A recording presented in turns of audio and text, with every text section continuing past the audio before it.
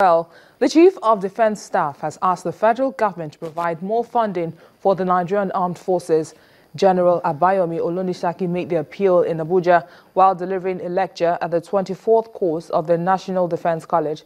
According to the defense chief, between 2009 and 2014, monetary allocations to the armed forces have continued to dwindle even in the face of rising security challenges. It says even where appropriations for the military are raised, more is allocated to recurrent expenditure with very little for the purchase of military hardware and training. The ability of the armed forces to contain contemporary emerging and future threats would depend on the funds available to improve its capability through the procurement of new platforms, training, equipment, as well as research and development.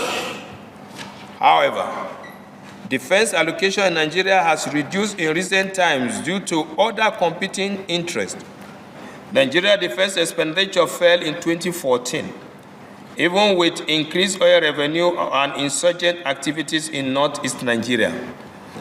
A comparison of the real values of Nigerian recurrent and capital defense expenditure from 1980 to 2010 indicates that the bulk of Nigerian defense expenditure is allocated to recurrent expenditure, leaving the military with little or no outlay for capital expenditure.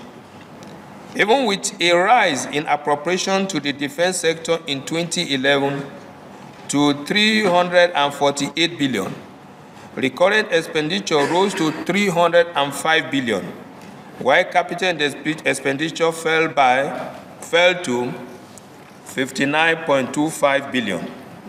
Thus, it could be adduced that the defense expenditure outlay did not channel adequate resources for the development of the armed forces.